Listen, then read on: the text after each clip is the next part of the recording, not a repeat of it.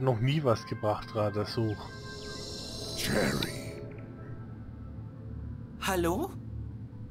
Jerry. Noch habe ich es nicht geschafft, bis zur Lichtung vorzudringen. Ich muss... muss vorsichtig sein, mein Ziel nicht aus dem Sinn zu verlieren. Mein wacher Geist beginnt zu träumen, sich aufzulösen. Zarow verwehrt mir den Zugang, aber du scheinst ihm schon näher zu sein. Aber ich sitze hier fest. Was kann ich tun? Du befindest dich zwischen den Welten, so wie ich. Doch während Zarow meinen Geist fehlleitet, führt er deinen Leib in die Irre. Zarows Bann ist stark. Ich kenne nur einen, dessen Kraft ausreicht, dir hier zwischen den Welten zu helfen. Ein gefährlicher Magier. Nimm dies. Das kenne ich doch. Du musst ihn rufen, wie du es schon einmal getan hast. Auch wenn wir es vielleicht alle bereuen werden. Doch wenn du ihn um Hilfe bittest, zeige keine Schwäche. Hallo? Alter Magier. Er ist fort. Wieder allein.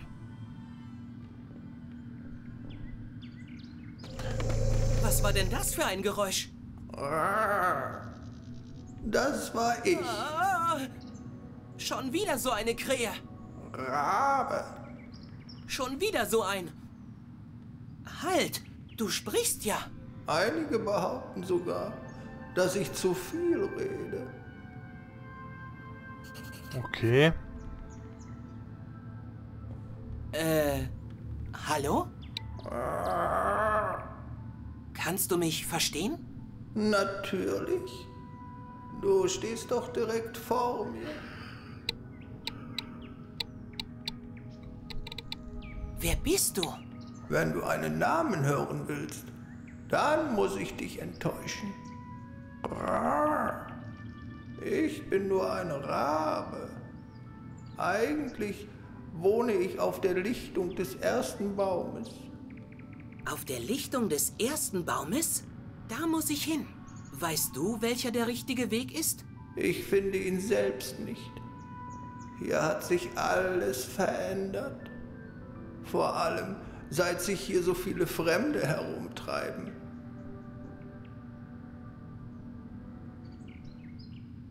Was ist das hier für ein Ort?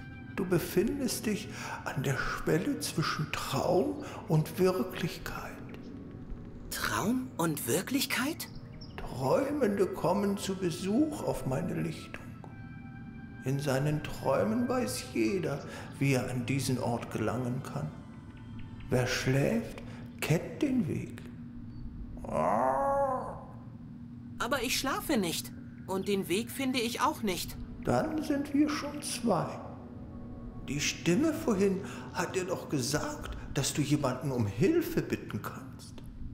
Ja, aber wie? Er sagte, dass du es schon mal getan hast. Hm. Einmal war jemand hier, der über seine Vergangenheit meditierte.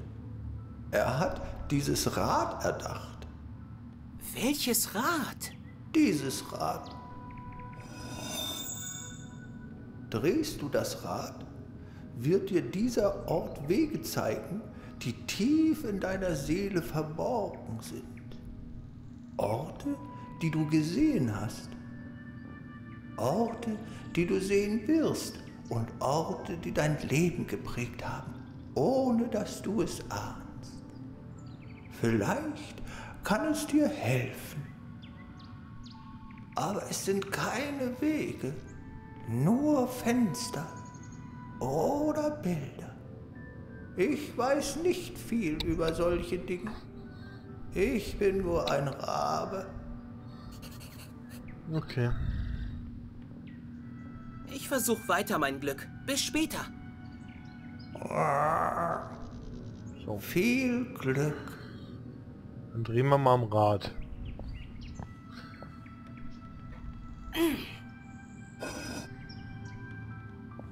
Die Wege haben sich verändert. Wie merkwürdig. Das sind gar keine Wege mehr. Sieht fast aus wie Fenster zu verschiedenen Orten.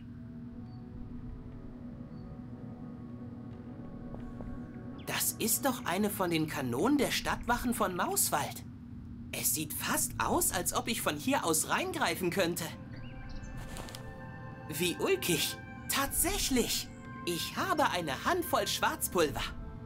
So, Schwarzpulver. Erste Zutat. Restlich müsst ihr etwas... Oder, oder kriegen wir da Eicheln? Den kenne ich doch. Hallo, alter Freund. Oh Mann, der erinnert mich an zu Hause. Okay, Lagerfeuer. Da bringen wir wahrscheinlich jetzt gleich die Fatschen. Ein gemütliches Lagerfeuer. Ich glaube, da sitzt sogar jemand. Wer auch immer das ist, ich leih mir mal einen Holzscheit aus. Autsch, heiß. Und was jetzt? Also, Da ist nichts zum Anzünden. Aua! Jetzt habe ich mir fast die Finger verbrannt. Ich sollte mir vorher gut überlegen, was ich mit dem Feuer machen will. Okay. Das nützt uns noch nichts. Dann drehen wir mal weiter. Hau ruck!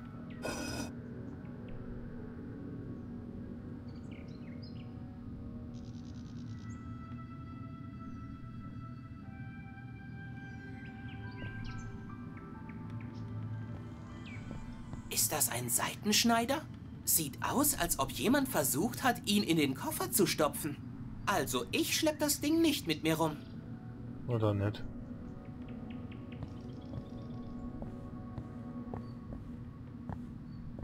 Hände weg! Hey, das ist die Lagerkammer in der Waldzwerge-WG. Und sie ist immer noch verschlossen.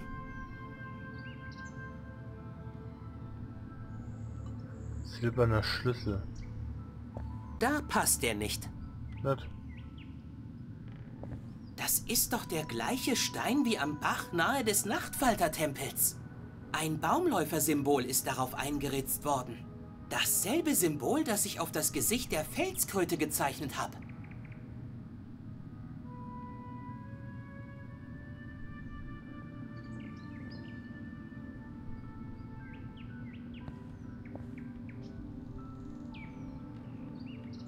Hoffentlich ist das Bild dann nur eine Illusion.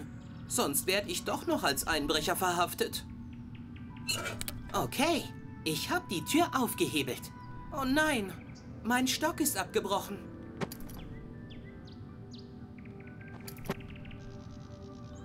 So, jetzt haben wir das, was die Erde hergibt. Gehen wir nochmal weiter.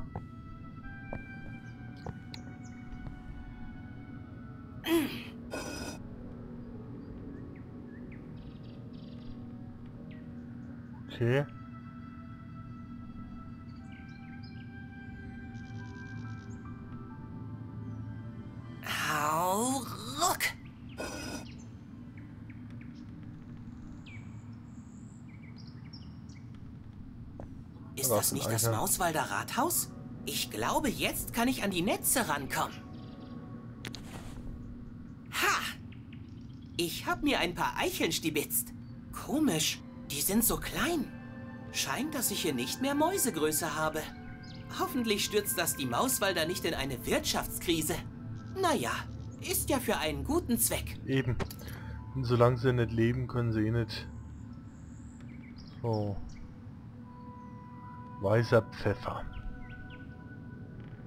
Ja, das gehört auch zum Kreuzungszauber aus dem Brief vom Marquis. Aber ich glaube, die Reihenfolge war anders. Ja, war sie auch. Warte mal. Wir müssen Das braucht keine besondere Würze. irgendwie mischen. Hm, ich habe das Gefühl, die Reihenfolge stimmt noch nicht ganz. Hm, nein. Hm. Hm. Das braucht keine besondere Würze. Wie war denn das nochmal? Hm, ich habe das Gefühl, die Reihenfolge stimmt noch nicht ganz. Habe ich mir das merken müssen, oder was? Ja.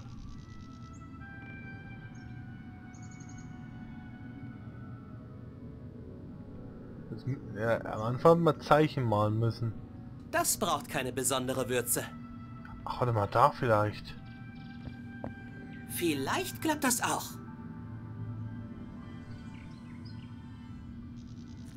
So. Weißes Pulver, mit dem ich das Symbol der Baumläufer geformt habe. Hoffentlich gilt das jetzt auch. Was ist dann passiert? Das ist doch der gleiche... Ein Baumläufer-Symbol. Dasselbe Symbol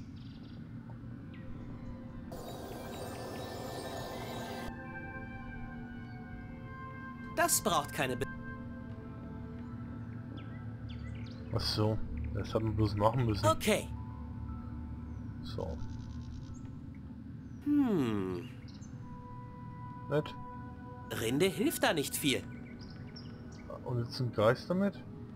Ja, das gehört auch zum Kreuzungszauber aus dem Brief vom Marquis. Aber ich glaube, die Reihenfolge war anders. Und da hat man jetzt das erstmal ein Bingo.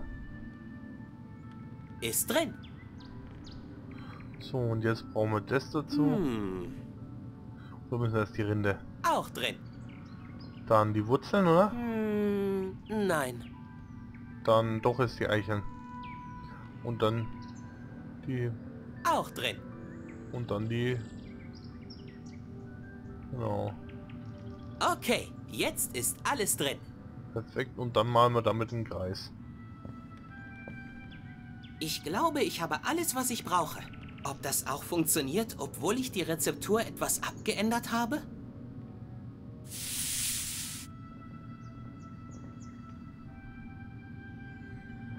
So, dann drehen wir, weil dann brauchen wir die Feuer. Das wissen wir schon, wo wir herkriegen. Genau, da müssen, kriegen wir das Feuer her und dann zünden wir den Kreis an. Heiß. Ja, ja, Und was jetzt? So, hör auf zu jammern und zünden den Kreis an.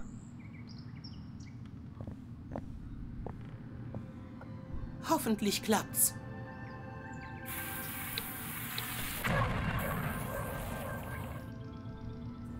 Dein Name. Sag mir deinen Namen. Ich bin Jerry. Jerry Haselnuss. Jeremias. Jeremias Mensch. Wie konnte es dir gelingen, mich an diesen Ort zu rufen? Ich habe einen Pulverkreis auf die Wegkreuzung gezeichnet und... Nur wenige wissen von diesem Ritual. Es braucht Stärke, um es erfolgreich durchzuführen. Nur die Starken sind unserer Magie würdig. Des Weltenwanderns. Ich sehe Stärke in dir. Warum hast du mich gerufen? Ich sitze hier fest. Alle Wege führen mich im Kreis. Dieser Ort wurde in eine Falle verwandelt. Er geht nun in sich selbst auf. Ein starker Bann muss errichtet worden sein. Wer immer diesen Zauber gewirkt hat, muss einen guten Lehrer gehabt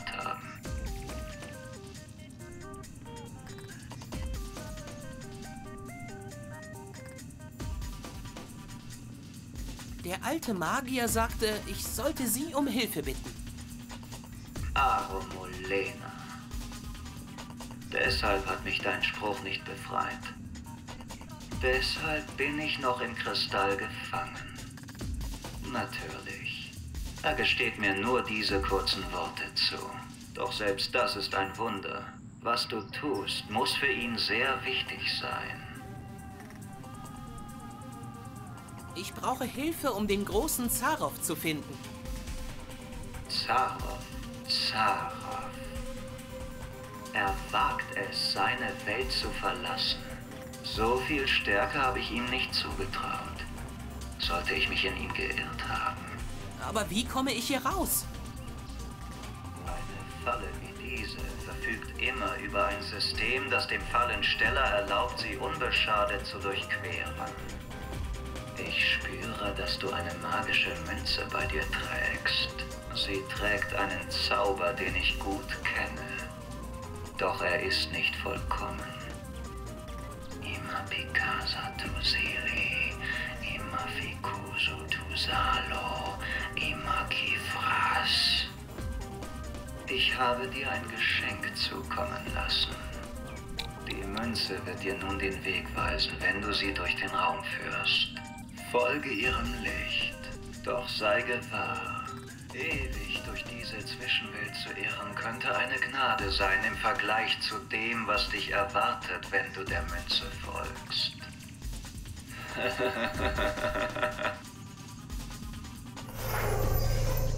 Wer war das? Ein Freund von dir? Nein, ich glaube nicht.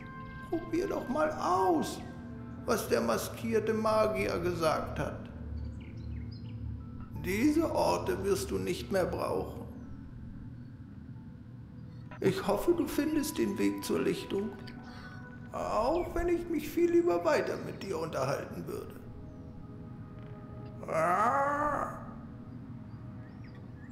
So. Hallo Münze. Hallo, geht es nicht?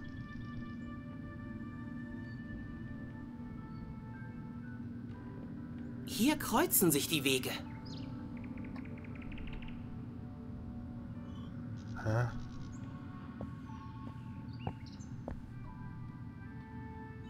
Funktioniert das jetzt? Ob das jetzt der richtige Weg ist? Oh Mann, ich habe das Gefühl, ich laufe im Kreis. Jetzt ist guter Rat teuer. Vielleicht kann ich hier doch irgendwie den Marquis oder den alten Magier erreichen. Hä, wie funktioniert das jetzt mit meiner Münze?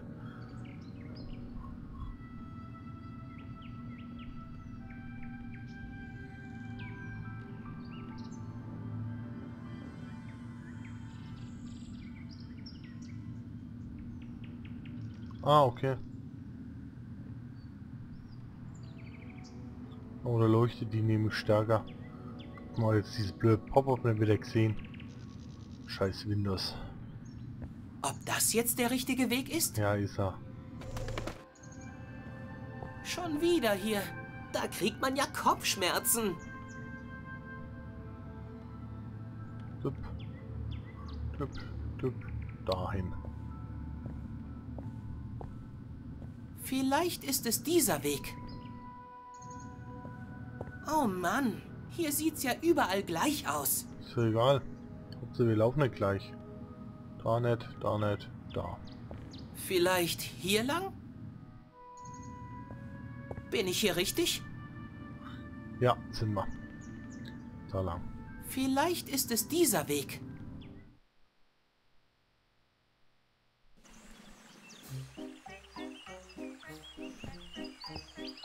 Das muss die Lichtung sein. Die Lichtung des ersten Baumes. Ich sehe, ein Freiwilliger will Teil dieser magischen Vorstellung werden. Applaus, meine Damen und Herren.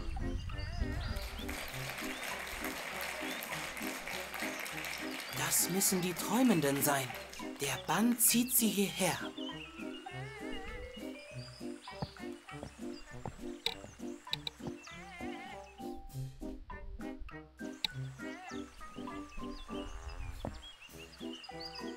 Freiwilliger, meine Damen und Herren.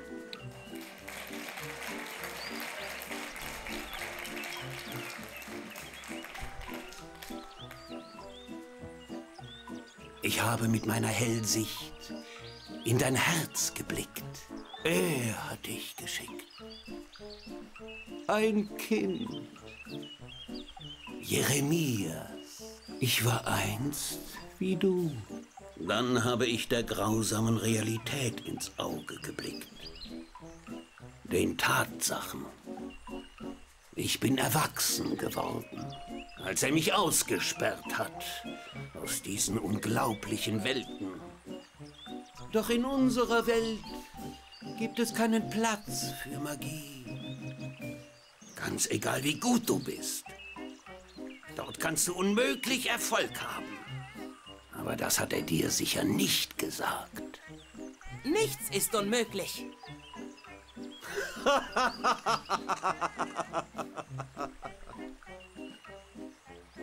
Nur für ihn. Das wirst du bald merken. Er hätte dich nicht schicken dürfen. Er wird seinen Fehler schnell bemerken. Vielleicht wird seine Trauer um dich größer sein als um mich. Was für eine lahme Vorstellung. Du musst viel lernen. Das Publikum, es liebt nur mich.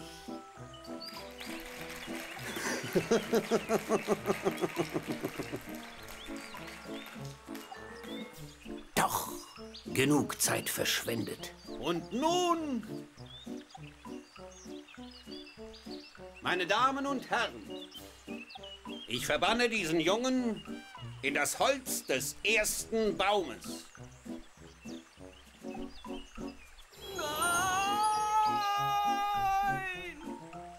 Und das, mein sehr verehrtes Publikum, ist Magie. Ist Magie!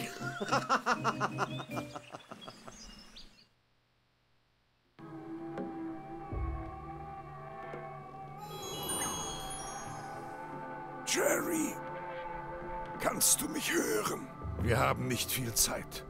Meine Macht ist nicht stark genug, um Zarovs Bandzauber lange zu durchbrechen. Er hat dich in den ersten Baum gebannt.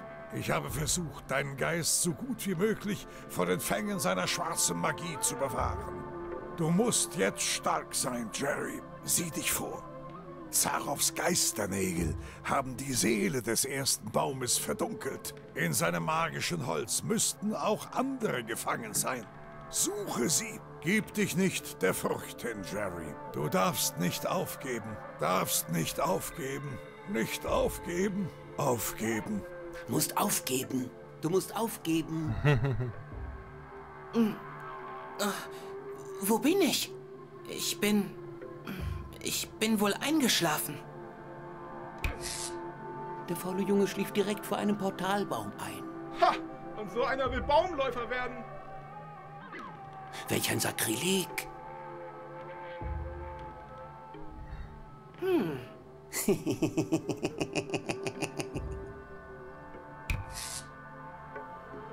Plato, Tut mir leid, aber mein Freund Jerry braucht wieder Hilfe. Ich habe keine Zeit für Fremde. Fremde? Aber ich bin doch Jerry. Er glaubt, die Pappfigur bin ich. Und an mich erinnert er sich gar nicht.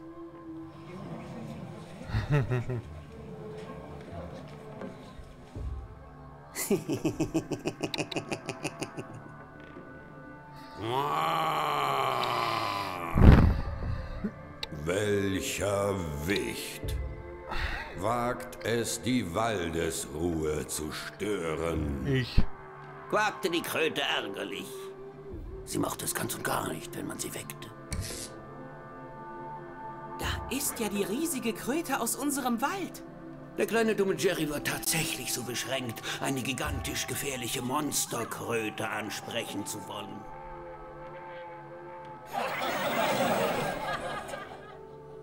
Ich sollte sie mal ansprechen. Vielleicht weiß sie ja, wie ich hier rauskomme. Eine sehr gute Idee.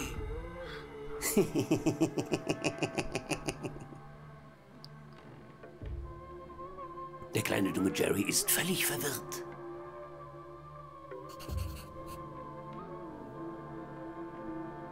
Freunde müssen einander helfen. Was ist denn das? Das sieht ja aus wie ein Skript. Im Bann des Zarov, erster Akt. Der kleine dumme Jerry? Ich bin doch nicht dumm. Gehasst von allen Waldbewohnern. Nein, das ist nicht wahr. Immer nur am Nerven und Schnurren. Gar nicht. Endlich zertrampelt von der bösen Felsenkröte. Wer, wer schreibt denn sowas Gemeines?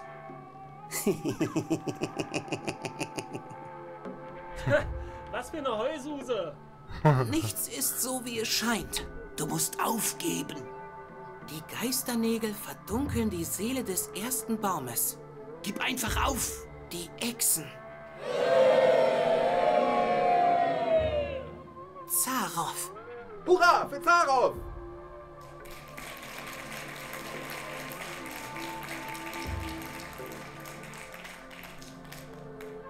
Ich muss Zarov aufhalten.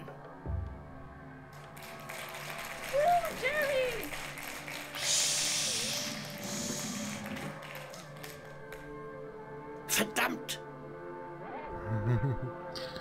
Sprechen wir mit der Kröte. Natürlich habe ich das nicht so gemeint. Die Kröte atmet ganz schön schwer. Kein Wunder. Sie ist ja ganz zugekleistert mit hässlichen Postern. Ich werde versuchen, die Zettel abzureißen.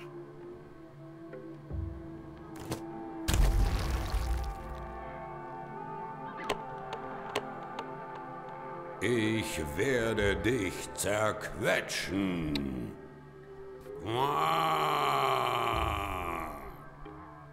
Oh, sie lässt mich nicht an sich ran. Du hast uns alle ins Unglück gerissen. Uns ausgenutzt. Du willst auf meinem Fahrrad mitfahren? Aber ich muss doch die Post austragen. Jerry war egal, was der Frosch sagte. Denn er war zu faul zum Laufen. Was? Aber so war das doch gar nicht.